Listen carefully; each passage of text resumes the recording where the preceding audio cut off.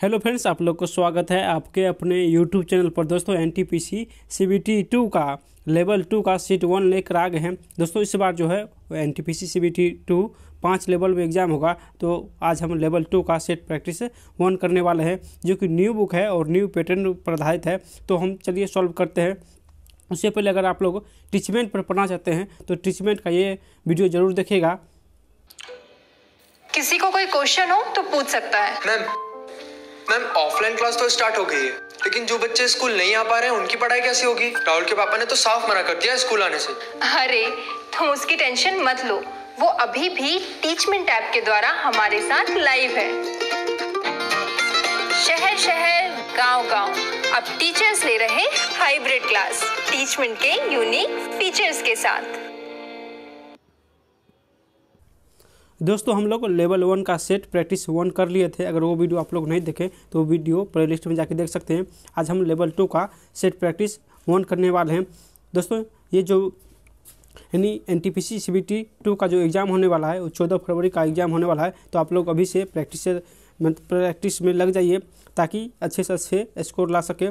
दोस्तों, अगर आप लोग N T P C C T और ग्रुप डी की तैयारी करते हैं। तो आप लोग के लिए खान सर का जो कि पंद्रह हज़ार साइंस क्वेश्चन है सीरीज़ उसका चल रहा है, यानी तीन वीडियो अब तक इसका, यानी बायोलॉजी का अपलोड हो चुका है। अगर वो वीडियो अभी तक आप लोग नहीं देखे तो ज़रूर देखेगा। बहुत ही महत्वपूर्ण बुक है दोस्तों। इसमें उन्नीस सौ नब्बे से दो हज़ार इक्कीस तक पूछा हुआ सारे एग्ज़ाम का साइंस इस बुक इस बुक में आप लोग को मिलेगा। तो आप लोग एग्ज़ाम से पहले के बाद ज़रूर पढ़िएगा। और साइंस यानी बायोलॉजी फिजिक्स केमिस्ट्री तीनों का वीडियो खान सर का पंद्रह हज़ार का अपलोड हो रहा है डेली तो जल्दी से आप लोग हमारे चैनल से जुड़ जाइए ताकि जो भी वीडियो अपलोड हो, उसका नोटिफिकेशन आप लोग को मिल सके। दोस्तों एन टी संबंधित सारे जानकारी आप लोग को इस चैनल पर मिलता रहता है तो आप लोग हमारे चैनल को सब्सक्राइब कर लीजिए। तो आज हम सेट प्रैक्टिस लेवल टू का वन करने वाले हैं। तो चलिए दोस्तों, ये जो है किरण पब्लिकेशन के द्वारा तैयार किया गया बुक है। ये बुक आप कहीं से भी ले सकते हैं ऑनलाइन ऑफलाइन सभी जगह ये बुक उपलब्ध है। ऑनलाइन लेने के लिए दोस्तों लिंक नीचे आप लोग को मिल जाएगा। तो ऑनलाइन आप ले सकते हैं। आज हम लेवल टू का जो सेट प्रैक्टिस वन है, हम लोग सॉल्व करने वाले पचास जी के जी एस तो आप लोग वीडियो को अंत तक बने रहेगा और इसका पीडीएफ प्राप्त करने के लिए हमारा टेलीग्राम लिंक नीचे दिया गया है, जहाँ से आप ज्वाइन करके इसका पी भी प्राप्त कर सकते हैं। तो चलिए स्टार्ट करते हैं आज के क्वेश्चन को। देखिए क्वेश्चन जो है कि संसद के द्वारा, प्रथम जो क्वेश्चन है कि संसद के द्वारा संविधान की प्रक्रिया और उसके संशोधन से जुड़ा अनुच्छेद तीन सौ अड़सठ, भारतीय संविधान के किस भाग के अंतर्गत संग्रहित है? यानी अनुच्छेद तीन सौ अड़सठ जो है, संविधान संशोधन, वो किस भाग के अंतर्गत संग्रहित है? दोस्तों, आप लोग को पाँच सेकंड दिया जाएगा और अपनी क्षमता ज़रूर बताइएगा कि आप लोग इसमें कितना आंसर दे पाए हैं। तो इसका आंसर हो जाएगा यानी भाग बीस में। यानी भाग बीस में जो है, वो संविधान संशोधन तीन सौ अड़सठ अनुच्छेद दिया गया है। तो आंसर इसका ये हो जाएगा। नेक्स्ट क्वेश्चन देखिए। कि भारत का सबसे छोटा केंद्र शासित राज्य कौन सा है? यानी भारत का सबसे छोटा केंद्र शासित राज्य कौन है? तो इसका आंसर क्या हो जाएगा? तो इसका आंसर हो जाएगा दोस्तों, यानी बिल, लक्षद्वीप। लक्षद्वीप इसका करेक्ट हो जाएगा। दोस्तों, हम लोग डेली एक प्रैक्टिस सेट करेंगे तो आप लोग चैनल को प्लीज़ सब्सक्राइब कर लीजिए। इस वीडियो का जो टारगेट है, दो हज़ार लाइक का और एक हज़ार सब्सक्राइब का। दोस्तों, हम हर वीडियो में टारगेट देते हैं ताकि आप लोग इस वीडियो को जितना हो सके सब्सक्राइब और शेयर कीजिए और हम आप लोग के लिए डेली एक प्रैक्टिस सेट लेकर आए तो आप लोग भी इस टारगेट को ध्यान रखिएगा। दो हज़ार लाइक का और एक हज़ार सब्सक्राइब का तो प्लीज़ टारगेट को पूरा कीजिए। देखिए, इसका जो आंसर हो जाएगा नहीं, सबसे छोटा केंद्र शासित प्रदेश कौन सा है? तो इसका आंसर हो जाएगा नहीं, लक्षद्वीप। लक्षद्वीप जो है, वो सबसे छोटा केंद्र शासित प्रदेश है। नेक्स्ट क्वेश्चन है, रानी नायकी देवी जिन्हें देश को ग्यारह सौ ईस्वी में हराने के लिए याद किया जाता है। तो ये किसको हराए थे? तो दोस्तों ये जो है, यानी मोहम्मद गौरी को, मोहम्मद गौरी को ग्यारह सौ अठहत्तर में हराया था, यानी तो इसका आंसर हो जाएगा डी। नेक्स्ट क्वेश्चन देखिए कि रौफ डैश राज का एक लोक नृत्य है। रौफ जो है, किस राज का एक लोक नृत्य है? तो इसका आंसर हो जाएगा, यानी ये जम्मू कश्मीर का एक लोक नृत्य है। तो इसका आंसर डी हो जाएगा जम्मू कश्मीर। नेक्स्ट क्वेश्चन देखिए कि डैश का उद्देश्य खनन वाले क्षेत्रों में प्रभावित लोगों को जिला खनिज foundation N D M F द्वारा उपार्जित किए गए धनराशि के माध्यम से उनका सहयोग एवं कल्याण करना है। तो इसका आंसर क्या हो जाएगा?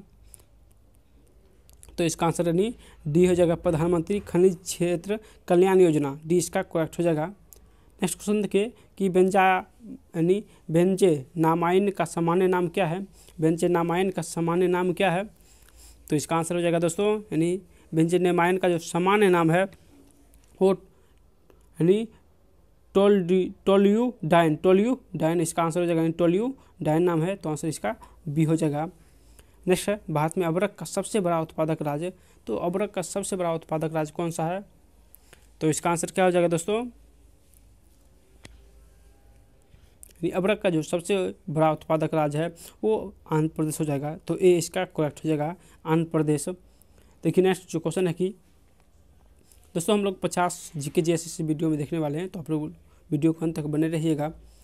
नेक्स्ट क्वेश्चन देखिए, निम्नलिखित विकल्पों में कौन सा शब्द जो कि तैराकी से संबंधित नहीं है?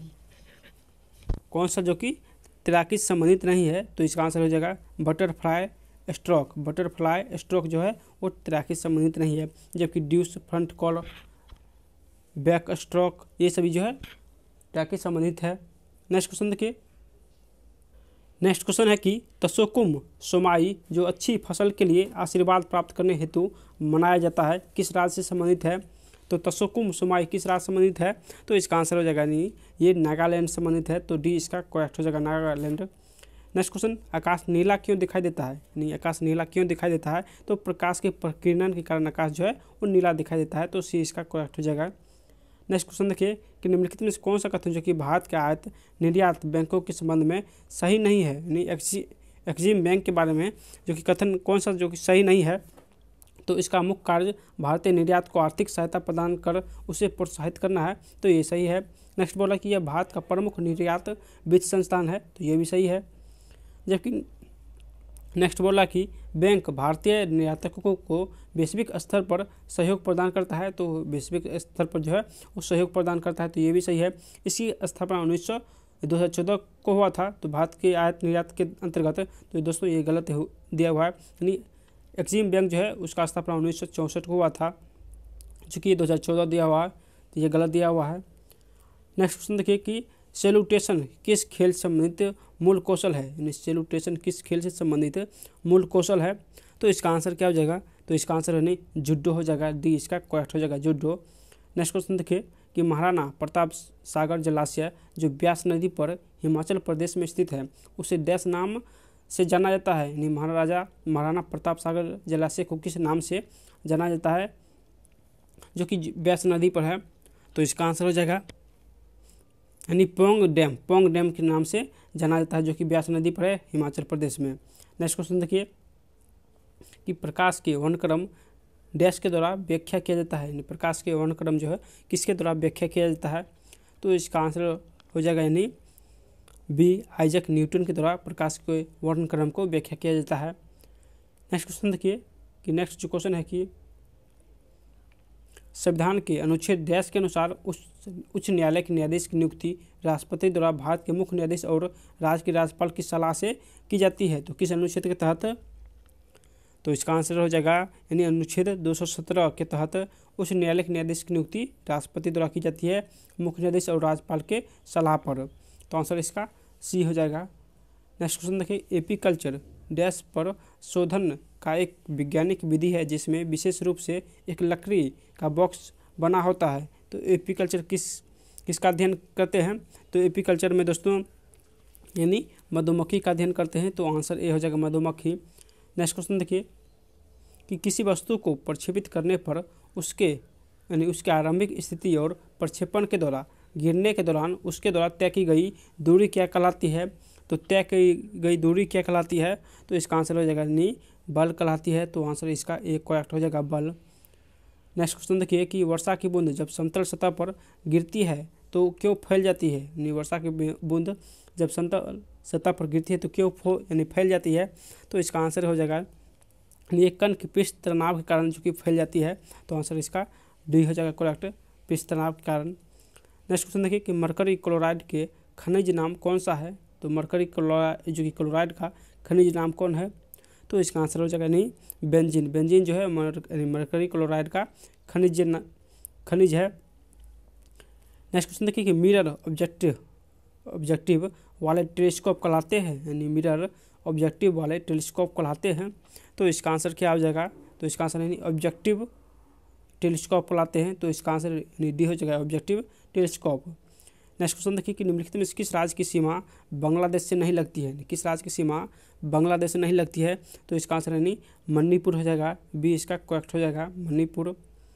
नेक्स्ट क्वेश्चन देखिए कि क्वेश्चन है कि दो हज़ार ग्यारह की जनगणना के अनुसार भारत में महिला साक्षरता दर कितनी है? तो ग्यारह के अनुसार महिला साक्षरता दर जो है वो भारत में वो पचपन पॉइंट टू परसेंट है। तो आंसर इसका ये हो जाएगा, पचपन point two percent. Next question देखिए कि चौसा का युद्ध, जो हुमायूं और शेरशाह सूरी के बीच छब्बीस जून दो हज़ार छब्बीस जून देश को लड़ा गया था तो चौसा का युद्ध जो है वो पंद्रह सौ उनचालीस को लड़ा गया था। उसके बाद बिलग्राम का युद्ध पंद्रह सौ चालीस को लड़ा गया था, जबकि चौसा है तो पंद्रह सौ उनचालीस हो जाएगा।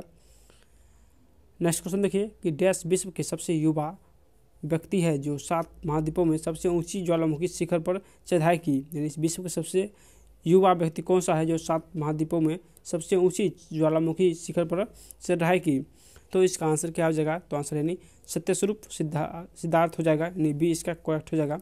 सत्यस्वरूप, सत्यरूप सिद्धार्थ। नेक्स्ट क्वेश्चन है कि राष्ट्रपति द्वारा किसके अनुमोदन पर लोकसभा को भंग किया जा भंग किया जा सकता है? तो लोकसभा को जो भंग किया जाता है, वो मुख्य न्यायाधीश यानी भारत के मुख्य न्यायाधीश के अनुमोदन पर तो आंसर इसका ए हो जाएगा भारत के मुख्य न्यायाधीश। नेक्स्ट क्वेश्चन देखिए पुणे स्थित एक संस्थान, डैश ने वाहनों में पंद्रह प्रतिशत पंद्रह प्रतिशत एम पंद्रह मेथनॉल को मिलाकर तीन हज़ार किलोमीटर तक उसके उत्सर्जन का वास्तविक दुनिया की स्थिति में मूल्यांकन किया। साथ साथ वाहनों के निष्पादन की भी जाँच का अध्ययन किया। तो कि कौन सा संस्थान है? तो इसका जो आंसर हो जाएगा यानी automotive research association of India तो आंसर इसका ए हो जाएगा। नेक्स्ट क्वेश्चन देखिए। भारतीय संविधान के अनुच्छेद एक के द्वारा भारत को किस रूप में परिभाषित किया गया है? अनुच्छेद ए में भारत को किस रूप में जो कि परिभाषित किया गया है तो इसका आंसर हो जाएगा। इन राज्यों की संघ के रूप में परिभाषित किया गया है तो आंसर इसका ए हो जाएगा, यानी सी हो जाएगा।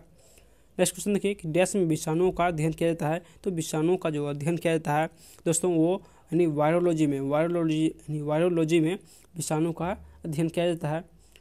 नेक्स्ट क्वेश्चन देखिए। कि नेक्स्ट जो क्वेश्चन है कि द्वितीय जालम द्वितीय जालम के हल्के रंग वाले बाहरी क्षेत्र को और किस नाम से जाना जाता है? यानी द्वितीय जालम के हल्के रंग वाले बाहरी क्षेत्र को और किस नाम से जाना जाता है? तो इसका आंसर क्या हो जाएगा? तो इसका आंसर यानी स्प्रिंग वुड कहा जाता है। स्प्रिंग वुड के नाम से जाना जाता है तो इसका आंसर सी हो जाएगा। नेक्स्ट क्वेश्चन देखिए कि मनुष्य के सुनने की सामान्य क्षमता कितनी होती है? तो सुनने की समान क्षमता जो होती है, वो 20 हर्ट्ज से 20 किलो हर्ट्ज होती है। तो आंसर इसका सी हो जाएगा, यानी 20 हर्ट्ज से 20 किलो हर्ट्ज। नेक्स्ट क्वेश्चन देखिए कि मौलिक कर्तव्य का संबंध में कौन सा निर्णय से किससे है? तो मौलिक कर्तव्य जो है, उसका संबंध किससे है? तो इनमें से कोई नहीं हो जाएगा। यानी मौलिक कर्तव्य इनमें से कोई भारत के नागरिक से विधि सहित भारत में रहने वाले सभी लोगों से विदेशी पर्यटक से इनमें से इसका जो कि संबंध नहीं दिया हुआ है तो आंसर इसका बी हो जाएगा। नेक्स्ट क्वेश्चन देखिए कि बॉस जल संधि तस्मानिया को निम्न से किसको अलग करती है? तो बॉस जो जल संधि है, ये तस्मानिया और इंडोनेशिया को अलग करती है तो आंसर इसका ही हो जाएगा तस्मानिया और इंडोनेशिया। नेक्स्ट क्वेश्चन देखिए केंद्र शासित प्रदेश दादर नागर हवेली महाराष्ट्र और देश के बीच स्थित है, यानी केंद्र शासित प्रदेश दादर नागर हवेली महाराष्ट्र और किसके बीच स्थित है?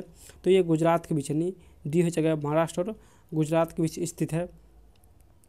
नेक्स्ट क्वेश्चन देखिए प्रतिवर्ष छः श्रेणियों में नोबेल पुरस्कार प्रदान किया जाता है। निम्नलिखित में किसके लिए या नहीं दिया जाता है? तो किस यानी किस क्षेत्र में नहीं दिया जाता है? तो गणित के क्षेत्र में गणित के क्षेत्र में नोबेल पुरस्कार नहीं दिया जाता है तो आंसर इसका ये हो जाएगा। नेक्स्ट क्वेश्चन देखिए कि केंद्र शासित प्रदेशों के नियमों कौन बनाता है? यानी केंद्र शासित प्रदेश के नियम कौन बनाता है? तो इसका आंसर हो जाएगा यानी संसद संसद जो है वो केंद्र शासित प्रदेश के नियम को बनाता है तो आंसर ये हो जाएगा। नेक्स्ट है, देश जो उड़ीसा का एक नृत्य है, जो अठारहवीं शताब्दी में जंगलों में रहने वाले जनजाति द्वारा किया जाता था और उन्नीसवीं शताब्दी में यह युद्ध कला पर आधारित नृत्य बन गया। तो इसका आंसर क्या हो जाएगा? तो इसका आंसर हो जाएगा नहीं कौन सा नृत्य है? तो ये छऊ छऊ नृत्य है तो आंसर इसका सी हो जाएगा, छऊ। नेक्स्ट क्वेश्चन देखिए किसी वस्तु के उत्पादन के लिए किसी कंपनी द्वारा किया गया खर्च कहलाता है। तो किसी वस्तु के उत्पादन के लिए किसी कंपनी द्वारा किया गया खर्च क्या कहलाता है? तो दोस्तों, ये सामग्री लागत कहलाता है। तो आंसर इसका डी हो जाएगा सामग्री लागत। नेक्स्ट है द ओरिजिन ऑफ़ स्पीजीज के लेखक कौन है? द ओरिजिन ऑफ़ स्पीच के लेखक कौन है? तो इसका आंसर क्या हो जाएगा? तो इसका आंसर है चार्ल्स डार्विन हो जाएगा ए इसका करेक्ट हो जाएगा। नेक्स्ट क्वेश्चन देखिए कि सुगोली का सुगोली की संधि अंग्रेज़ और डैश के बीच हुई, की गई थी। सुगोली की संधि अंग्रेज़ और डैश के बीच की गई थी, यानी अठारह सोलह में। तो दोस्तों ये जो है, ये अंग्रेज़ और गोरखा के बीच किया गया था, यानी सुगोली की संधि अंग्रेज़ और गोरखा के बीच हुआ था। नेक्स्ट क्वेश्चन देखिए कि डांसी ग्राम अभ्यारण्य कहाँ स्थित है? तो दांसी ग्राम अभ्यारण्य जो है, ये कहाँ स्थित है? तो ये जम्मू कश्मीर स्थित है। तो इसका आंसर ये हो जाएगा जम्मू कश्मीर। नेक्स्ट क्वेश्चन देखिए। नेक्स्ट क्वेश्चन है, संसदीय कानून में संशोधन। संसदीय कानून में संशोधन किस बहुमत द्वारा किए जा सकते हैं? तो इसका आंसर हो जाएगा, यानी संसद के सामान्य बहुमत द्वारा, यानी संसद के सामान्य बहुमत द्वारा संसद कानून में संशोधन किया जा सकता है तो आंसर इसका डी हो जाएगा। नेक्स्ट क्वेश्चन देखिए देखिए कि किस अधिनियम के तहत भारत सरकार की telecom regulatory authority of India, यानी ट्राई की स्थापना की गई? तो किस अधिनियम के तहत तो इसका आंसर हो जाएगा, यानी telecom regulatory authority of India act उन्नीस के तहत ट्राई की स्थापना किया गया। तो आंसर इसका दो हो जाएगा। नेक्स्ट क्वेश्चन देखिए कि वर्गीकरण में पाँच प्रजाति की संकल्पना किसने की? यानी वर्गीकरण में पाँच प्रजाति की संकल्पना किसने किया? तो इसका आंसर क्या हो जाएगा? तो इसका आंसर रॉबर्ट व्हिटकर ने किया था। तो डी इसका करेक्ट हो जाएगा, रॉबर्ट व्हिटकर। नेक्स्ट क्वेश्चन देखिए कि प्रथम शेख साउद अंतर्राष्ट्रीय पुरस्कार भारतीय वैज्ञानिक डैश को उनके पदार्थ पर अनुसंधान के लिए दिया गया था। तो प्रथम शेख साउद अंतर्राष्ट्रीय पुरस्कार किससे दिया गया? तो इसका आंसर हो जाएगा यानी चिंतामणि नागेशा रामचंद्र राव को दिया गया। तो इसका आंसर सी हो जाएगा। चिंतामणि नागेशा रामचंद्र राव को दिया गया। नेक्स्ट क्वेश्चन देखिए कि नेक्स्ट जो क्वेश्चन है कि डैश को देश में कच्चे तेलों के विकल्प के रूप में माना जाता है, जा रहा है, जिससे सात लाख करोड़ की बचत होगी। साथ ही यह प्रदूषण रहित भी होगी। तो इसका आंसर क्या हो जाएगा? तो इसका आंसर हो जाएगा बायोफ्यूल बायोफ्यूल इसका करेक्ट हो जाएगा। नेक्स्ट क्वेश्चन देखिए। स्वामी दयानंद सरस्वती का मूल नाम क्या था? दयानंद सरस्वती का मूल नाम क्या था? तो इसका आंसर क्या हो जाएगा? तो इसका आंसर यानी मूल नाम मूल शंकर था। तो आंसर इसका भी हो जाएगा मूल शंकर। नेक्स्ट क्वेश्चन देखिए कि बंगाल में दोहरे शासन की नीति किसने लागू की थी? बंगाल में दोहरे शासन की नीति किसने लागू की थी? तो इसका आंसर यानी लॉर्ड कर्नवालिस हो जाएगा। यानी सी इसका करेक्ट हो जाएगा। लॉर्ड कर्नवालिस ने बंगाल में दोहरे शासन लागू किया था। नेक्स्ट क्वेश्चन देखिए कि प्रथम आंग्ल सिख युद्ध के समय भारत का गवर्नर जनरल कौन था? प्रथम आंग्ल सिख युद्ध के समय भारत का गवर्नर जनरल कौन था? तो इसका आंसर हो जाएगा लॉर्ड हडिंग था। तो आंसर इसका दो हो जाएगा लॉर्ड हडिंग।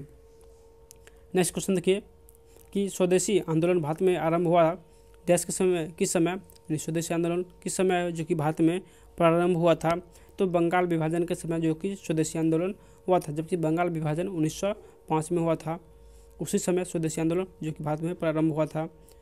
नेक्स्ट क्वेश्चन देखिए कि, और इस सेट का लास्ट क्वेश्चन है कि पेरी, पेरियार ई बी रामास्वामी ने किस सुधार आंदोलन की शुरुआत की थी? तो इसका आंसर क्या हो जाएगा दोस्तों? यानी किस आंदोलन की शुरुआत किया था? पेरियार ई रामास्वामी ने। तो इसका आंसर क्या हो जाएगा? तो इसका आंसर यानी बोका लिंगारा संघ की स्थापना की, यानी आंदोलन शुरुआत किया था? बोका लिंगारा संघ की। दोस्तों, इसमें हम लोग पचास क्वेश्चन जो कि सॉल्व किए थे, हम लोग डेली यानी फाइव लेवल जो है डेली आप लोग को एक सेट आप लोग को मिलेगा। तो आप लोग इस चैनल को सब्सक्राइब कर लीजिए, ताकि जैसे ही वीडियो अपलोड हो आप लोगों को नोटिफिकेशन चूँकि तुरंत मिले और इसका पीडीएफ प्राप्त करने के लिए आप हमारा टेलीग्राम ज्वाइन कर लीजिए, जहाँ पे इसका पीडीएफ मिलेगा और भी सारे करेंट अफेयर्स बुक का भी पीडीएफ आप लोग को मिलेगा। तो जल्दी से आप लोग टेलीग्राम ज्वाइन कर लीजिए और इस वीडियो का जो लक्ष्य है दो हज़ार लाइक का तो इस टारगेट को आप लोग ज़रूर पूरा कीजिएगा और एक हज़ार सब्सक्राइब का, ताकि नेक्स्ट जो वीडियो आए, आप लोग को तुरंत उसका नोटिफिकेशन मिले तो इस टारगेट को आप लोग ज़रूर पूरा कीजिएगा। फिर मिलते हैं नेक्स्ट वीडियो में, तब तक बाय